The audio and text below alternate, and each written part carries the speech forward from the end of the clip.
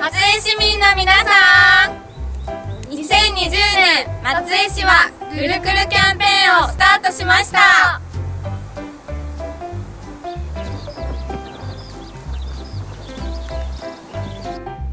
ルルクルとは健康寿命日本一を目指す松江市が始めた生活習慣を改善するためのセルフチェックのことで測る、つける、気づく、変わるの語尾を取ったキャッチフレーズです。血圧や体温、体重などを毎日測る。その測定記録をつける。その記録を確認することで自身の体調の変化を知り生活習慣の課題に気づくことができます。課題に気づくことで生活習慣が変わる。これがルルクルです。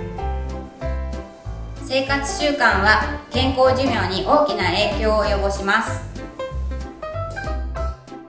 塩分や脂肪分の多い食事野菜不足運動不足などは肥満高血圧高脂血症糖尿病などの生活習慣病につながり動脈硬化を促進します。動脈硬化とは動脈が硬くなって弾力性が失われた状態のことを指します。加齢とともに血管が老化したりコレステロールなどが溜まって詰まりやすくなります。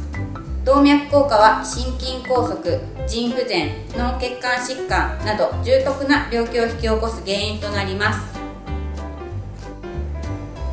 松江市民の生活習慣について見てみると働き世代のうち1日に必要な野菜を3割しか取れていない人が半数以上もいます。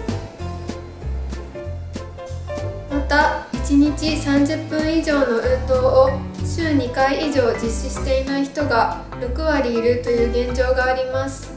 この現状が続けば生活習慣病になる危険性が高まります。自分の体をチェックし何をすべきか気づき生活習慣を変えることは今日からあなたにもできます。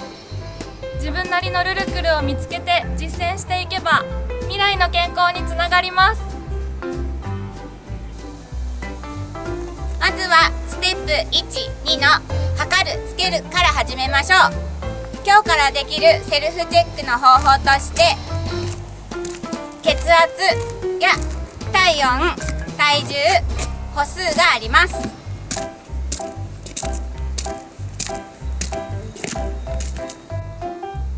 皆さんは何をチェックしますか？測る、つける、気づく、変わるの4ステップで未来の健康な体づくりのための一歩が踏み出せます。今日から毎日の生活に取り入れてみましょう。